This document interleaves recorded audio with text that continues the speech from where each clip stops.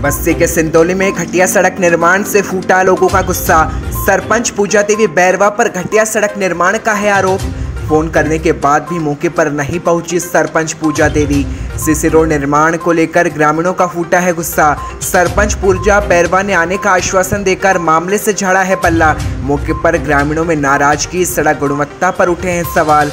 बड़ी खबर आप देख रहे हैं इस वक्त की बस्से के सिंदौली में ये खबर है, जहाँ घटिया सड़क निर्माण से ग्रामीणों का गुस्सा फूटा है।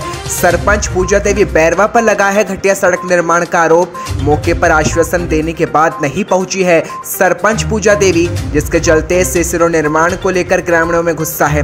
बता दें, सरपंच पूजा बैरवा ने झाड़ा है मामले से पल्ला।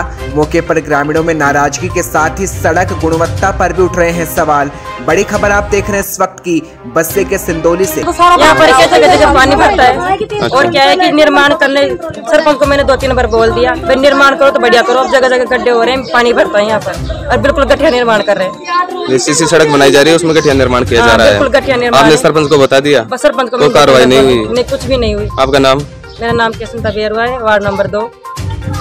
पहले में यहाँ पे बारिश का बहुत ज़्यादा पानी इकट्ठा होता था। यहाँ पे स्थान है इसका देवनारायण जी का। और देखो सबसे घटिया सामग्री डाल रहे हैं। कहने मतलब रेत है बिल्कुल रेत है यहाँ पे। बिल्कुल घटिया निर्माण हो रहा है। सरपंच ने क्या कहा? ग्राम पंचायत सरपंच तो सुनता ही नहीं है। फ़ोन भी किया लेकिन वो आ ही नहीं रहा यहाँ पे।